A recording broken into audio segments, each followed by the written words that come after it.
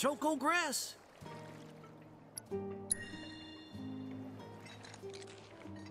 Well, well, if it ain't my beloved choco grass. This stuff can be one hell of a hassle to gather. Thank goodness I had you to get it for me. Okay, so what are you gonna do with it? I suppose you've earned the right to know. First, I take this fluff, mix it with some chocobo feathers, and let it ferment. Once it's dry, I boil it all down.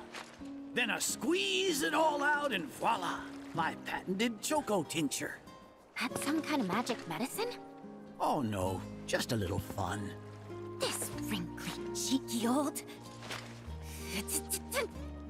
Speaking of grass, if you've got some extra tufts on hand, would you mind sharing them with my assistant at the shop?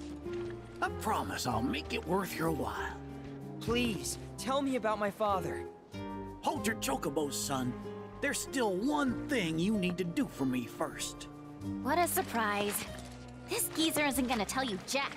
Face it, kid. You got a lot of nerve.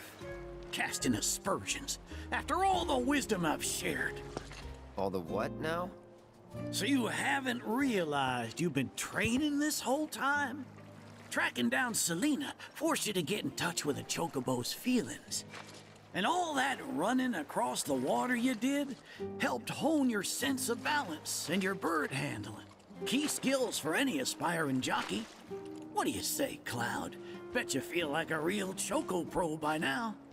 Can't say I do. Sounds to me like you need more training. Reckon we ought to add one more item to your regimen. Think of it as a final trial of sorts. Oh, give me a break. Don't go changing the subject here, Gramps. We're not doing your stupid trial.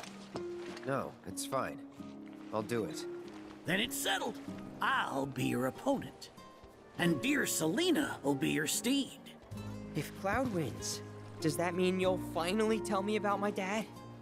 You've got a deal. But know that I won't be pulling any punches out there. When you're ready, give me a holler and we can hit the track.